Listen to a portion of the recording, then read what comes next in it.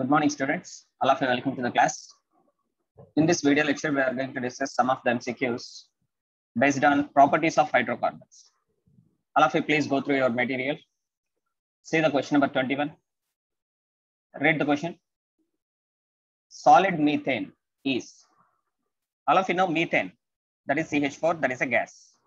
If the methane gas is going to be compressed to solid state, what the solid methane contains? The solid methane contains molecules. That is molecules of methane. So here we are seeing the word molecules. So solid methane is an example of molecular solid. Option A. Next question number 22. The slowest of abstraction of a hydrogen atom by a chlorine atom is shown by the slowest abstraction of hydrogen atom. Slowest subtraction means uh, the given species should be very less reactive. Suppose if I go for option A, see this one, CH3 taken thrice, C single bond CH3. I'm going to expand that one by taking this carbon. This carbon is surrounded with uh, four CH3 groups. Here three CH3 groups, here one CH3 group. If I expand this molecule, I can write it as C single bond CH3, single bond CH3, single bond CH3, single bond CH3. If I am going to remove one hydrogen atom from any one of the carbon, suppose from this carbon, I am going to remove one hydrogen radical, then I will get single bond CH2 radical. This is a radical. This radical is an example of primary carbon free radical. It is a primary carbon free radical. It is very least stable. So that's why this species is not ready to lose hydrogen radical to get replaced by chlorine radical. So the option is uh, option A is the right answer for this question. Next question. Question number 24. The major product obtained when isobutane is treated with chlorine in presence of a diffused sunlight. In presence of sunlight, the reactions are the examples of uh, free radical reactions. And we are taking the butane. It is an alkane. Alkanes readily undergoes substitution reaction. So finally, the reaction, this reaction is an example of free radical substitution reaction. First of all, I'm going to take uh, isobutane. Isobutane contains three carbons in the chain. One carbon is in the branch. So when this is undergoing homolytic cleavage in presence of sunlight, between this carbon and hydrogen, bond containing two electrons, one electron is taken by hydrogen atom, one electron is taken by carbon atom to give the radicals. The radical is CH3 single bond C radical, single bond CH3, single bond CH3. What is it? It is a tertiary carbon free radical. All of you know this one. It is an example of tertiary carbon free radical. Or simply I can say 3 degree carbon free radical. All of you know the stability order of free radicals. 3 degree carbon free radicals are more stable than 2 degree carbon free radicals are more stable than 1 degree carbon free radicals. Here you can see the order. Tertiary carbon free radicals are more stable than second degree carbon free radicals are more stable than first degree carbon free radicals. So that's why, first of all, the isobutane in presence of sunlight is undergoing homolytic cleavage to give tertiary carbon free radical, that is tertiary butyl carbon free radical. This is called as tertiary butyl, tertiary butyl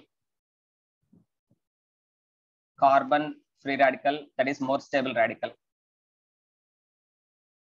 After the formation of this, it is going to react with chlorine radical. How the chlorine radical is formed? When a molecule of chlorine is taken in presence of sunlight, here the bond containing two electrons, one electron is taken by one chlorine atom, one electron is taken by one chlorine atom. This type of fission is called as homolytic fission. As a result, we will get two moles of chlorine free radicals. So one of the chlorine free radical is going to react with a tertiary butyl carbon free radical. So this carbon free radical reacts with chlorine radical so at this carbon, what is going to be bonded? Chlorine is going to be bonded. See this product? At this carbon, chlorine is going to be bonded. Now see this carbon, it is bonded with uh, three other carbons. One, two, three. So this is called as tertiary carbon. So this is an example of tertiary butyl chloride. The product formed is an example of tertiary butyl chloride. So our answer is uh, option C, tertiary butyl chloride. This type of models are very important for your NEET and JEE. Next question. Question number 25. which of the following alkanes can be easily sulfonated? Either it is the sulfonation or it is the nitration reactions. Whether it may be sulfonation or it is the nitration reactions, they are carried by the higher alkanes. At least the alkane should contain six carbons or more number of carbons. Why not with the lower alkanes? Suppose if you observe the sulfonation or nitration of alkanes that carries through free radical mechanism. That carries through free radical mechanism. If you take any lower alkane, the lower alkanes forming the free radicals are least stable, whereas the higher alkanes forming the radicals are more stable. So that's why among all these options, which one is the higher alkane? N-heptane is the higher alkane. It can readily undergo sulfonation by free radical mechanism. Next question. Question number 27. The most reactive alkene when it is going to react with the HBr. So here four options are given. All these are the alkenes. Which alkene is ready to react with the HBr? HBr is an example of unsymmetrical alkene because it is containing hydrogen atom and bromine atom. Different atoms are there. So whenever different atoms are there, that reagent is called as unsymmetrical reagent. Here, uh, if you see the first option, option A, it is a symmetrical alkene. Double bond carbons containing CH3 groups two times, CH3 group two times. This is a symmetrical alkene.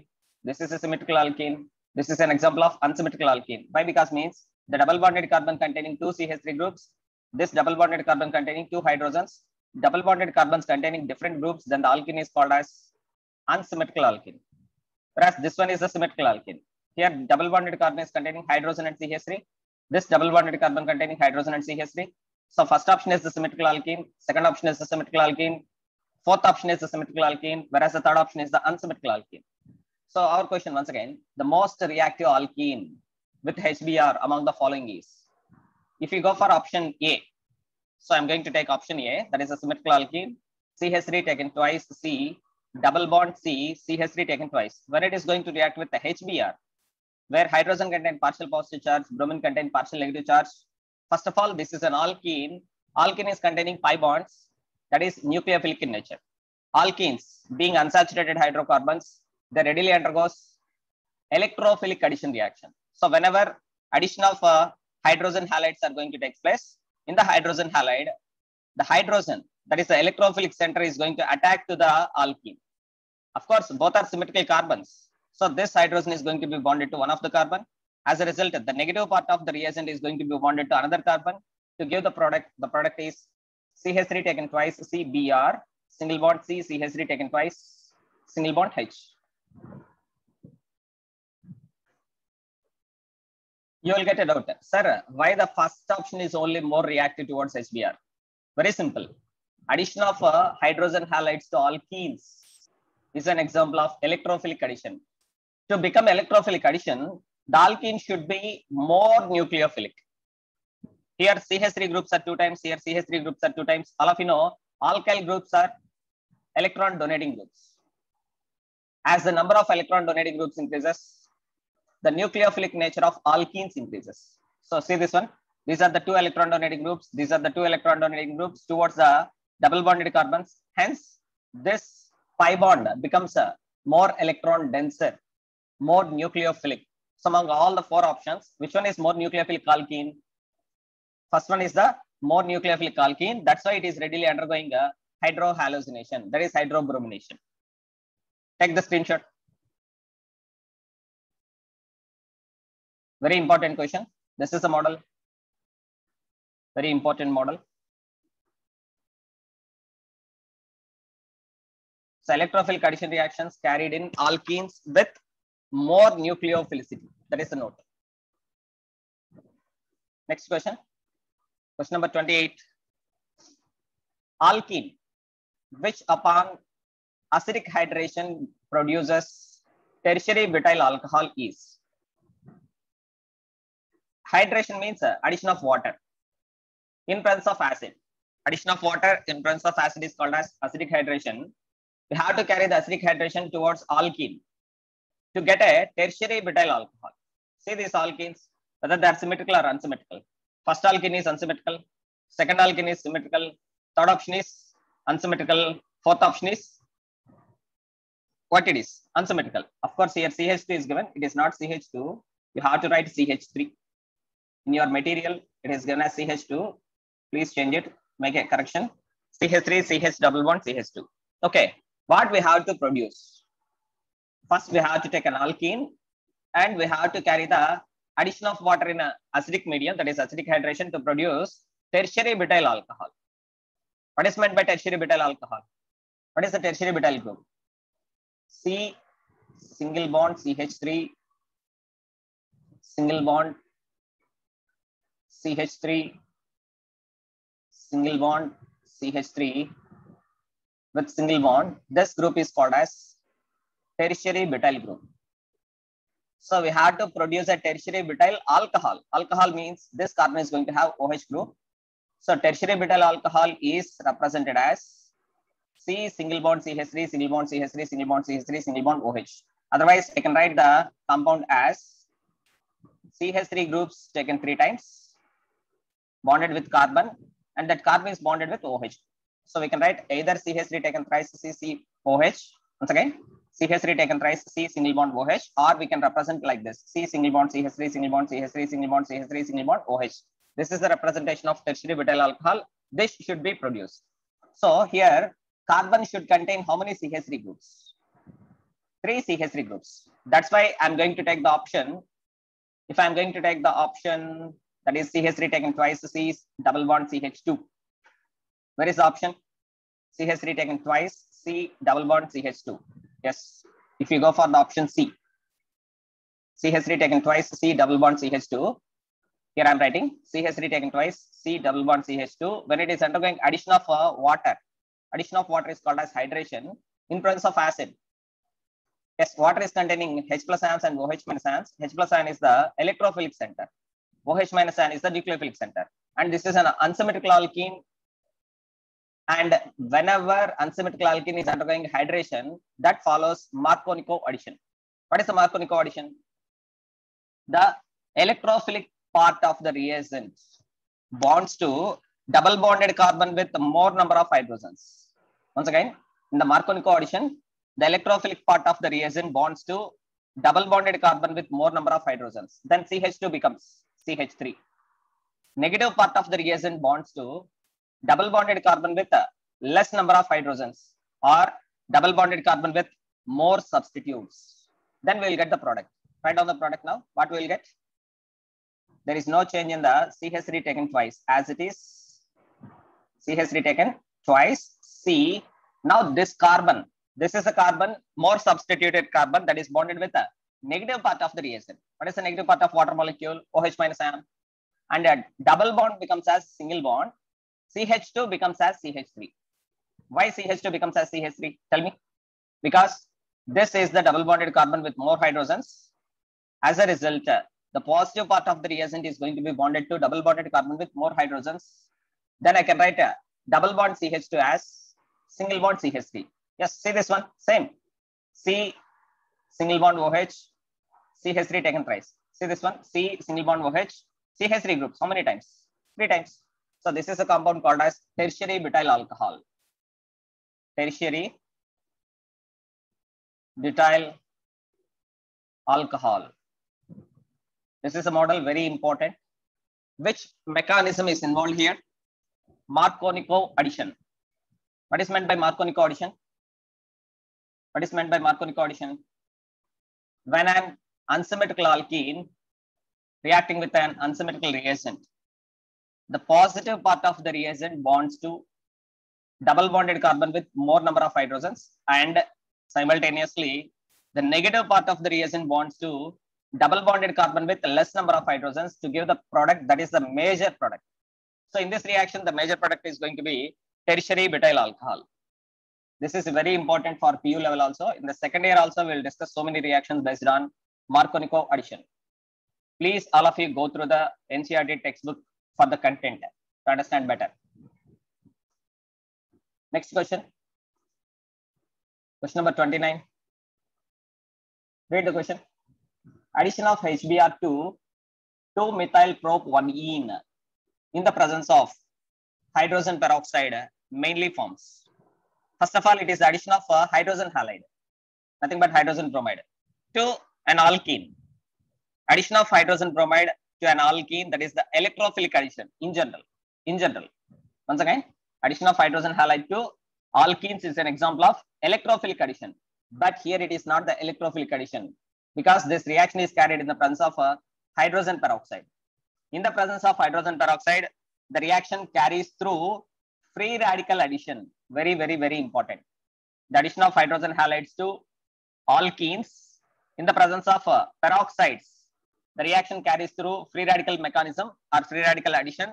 That is against to Markovnikov rule. Against to Markovnikov rule. Hence, it is called as anti-Markovnikov's addition. This was proposed by the scientist Kharasch. Hence, this is called as Kharasch effect. Of course, it is carried in the presence of peroxides. Hence, it is called as peroxide effect. So, there are three names for this reaction. Anti-Markovnikov addition or Kharasch effect or it is called as peroxide effect. Anti to rule. Very simple. Anti to rule means uh, the negative part of the reagent. See this one here. The negative part of the reagent bonds to double bonded carbon with uh, more number of hydrogens and the positive part of the reagent bonds to double bonded carbon with uh, less number of hydrogens then we will get a product what is the product ch3 single bond c single bond ch3 here hydrogen is going to be bonded. Double bond becomes a single bond. CH2 is bonded with Br. So tell me the product name, IUPAC name. This is the first carbon. This is the second carbon. And this is the third carbon. First carbon is having bromine. One bromo. Second carbon having methyl group. Two methyl. Chain is containing three carbons. Prop. Between carbon and carbon, single bonds are there. N. So finally, the product is 1 bromo 2 methyl propane. This is the anti-Markovnikov product.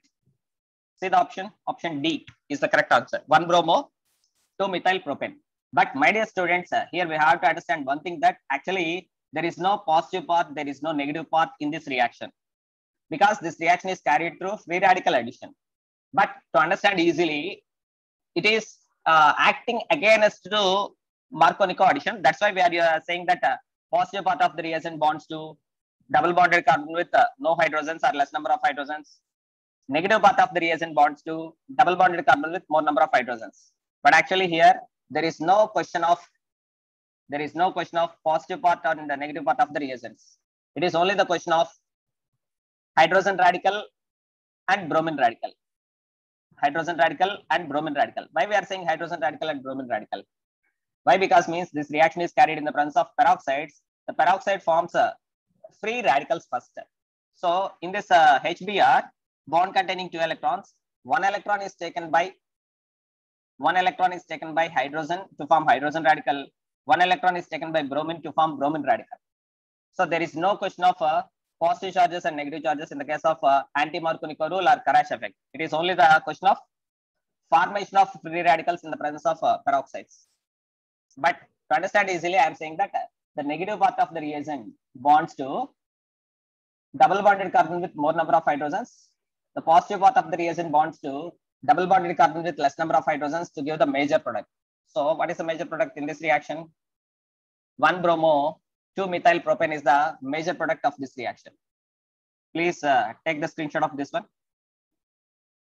Very important mechanism. Markovnikov addition and anti-Markovnikov addition are very important in the chapter alkenes. Please practice more number of MCQs based on Markovnikov and anti-Markovnikov addition. All of you, please take the screenshot. Yes, this is all about uh, today's session. And in the next class, we will discuss uh, some more MCQs based on uh, properties of hydrocarbons. And if you are having any doubt after watching to this video lecture, you can call me on my WhatsApp number. I will send you a Zoom link to discuss your doubts. But I'm requesting you all, please watch the videos till the end.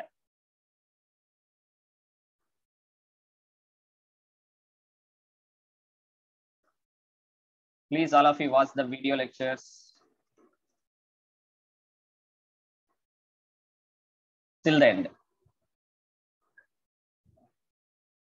Then only you can understand the topic better. After watching the video lecture, please go through your NCERT textbook, read the content, solve the in-text questions, as well as uh, solved examples, exercise examples. Those who are preparing particularly for the NEET examination, it's enough to practice NCERT textbook. In every chapter, at the end of the chapter, you can find uh, exercise problems. If you are able to solve those exercise problems, definitely you will get the best rank in NEET. But the only thing is, you have to practice every day. That is called as consistency. You have to maintain the consistency in practice. Then only you will get the best result. Thank you one and all. Stay home, stay safe. Have a nice day. This is your chemistry lecturer, Cesar Naidu, signing off.